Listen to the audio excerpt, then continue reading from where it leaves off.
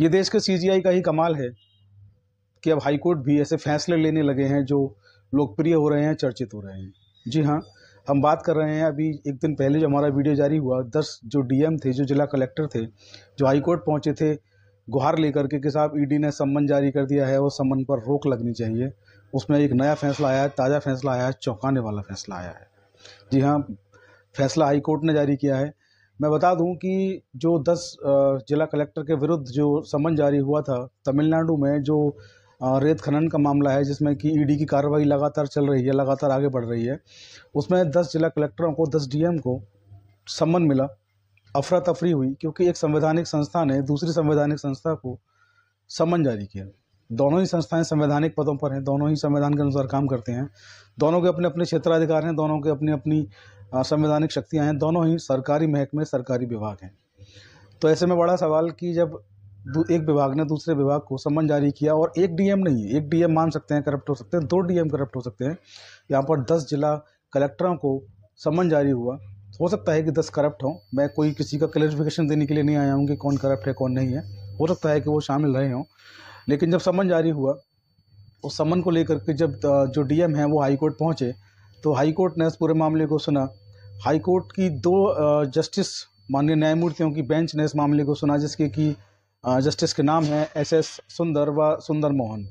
इस खंडपीठ ने इस मामले को सुना और सार्वजनिक विभाग के सचिव नंथा कुमार द्वारा दायर की गई याचिका पर रोक लगा दी। जी हाँ डीएम जिस मामले को लेकर के हाईकोर्ट पहुँचे थे, समन के खिलाफ जो उनको समन जारी हुए उन्होंने हाई कोर्ट में जो दाखिल की उनकी अपील थी कि इन पर रोक लगा दी जाए। हमें बेवजह परेशान किया जा रहा है। हमें अपना काम करने दिया जाए क्योंकि एक डीएम पर एक जिला कलेक्टर पर एक ज़िले को चलाने की पूरी ज़िम्मेदारी होती है। तो उन्होंने जो मांग की थी उस पर हाई कोर्ट ने अभी रोक लगा दी है।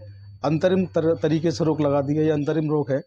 अभी हाईकोर्ट ने इस पर रोक लगाते हुए साथ ही ईडी से ये भी कहा कि आप जो है अपनी जाँच को चाहें तो आगे बढ़ा सकते हैं।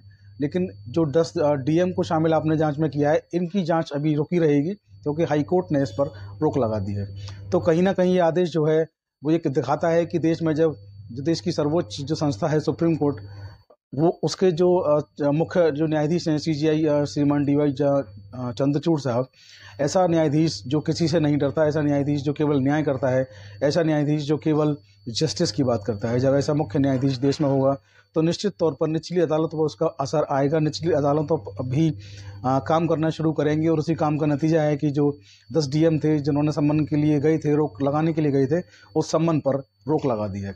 तो कहीं ना कहीं इससे जो ईडी के जो जो भी काम करने का तरीका है, उस पर कहीं ना कहीं असर पड़ेगा और ऐसा लगता है कि मोदी सरकार का जो हथियार है, जो ब्रह्मास्त्र है ईडी, वो फ़िलहाल सुप्रीम कोर्ट के आगे चल नहीं पा रहा है। ऐसा प्रतीत होता है। इस मामले में अगली जो सुनवाई की तिथि है, वो इकतीस दिसंबर तक उन पर रोक लगा दी गई है। इकतीस दिसंबर को इस मामले की दोबारा से सुनवाई होगी।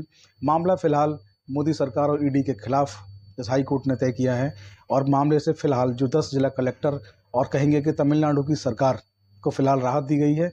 मामला बेहद अच्छा है और संवैधानिक दृष्टि से देखें तो हाई कोर्ट का फैसला है तो हम हाई कोर्ट, सुप्रीम कोर्ट या प्रत्येक कोर्ट का हम सम्मान करते हैं क्योंकि लीगल प्रैक्टिसनर हैं तो मामला बेहद अच्छा बेहद दिलचस्प।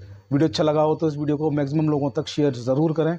साथ ही आप लोग हमारा जो चैनल है चौधरी लीगल एसोसिएट और हमारा दूसरा YouTube channel official Prateek Chaudhary दोनों को सब्सक्राइब करना ना भूलें। कमेंट करें, शेयर करें इसके साथ आप लोग हमें फेसबुक और इंस्टाग्राम पर भी फॉलो कर सकते हैं।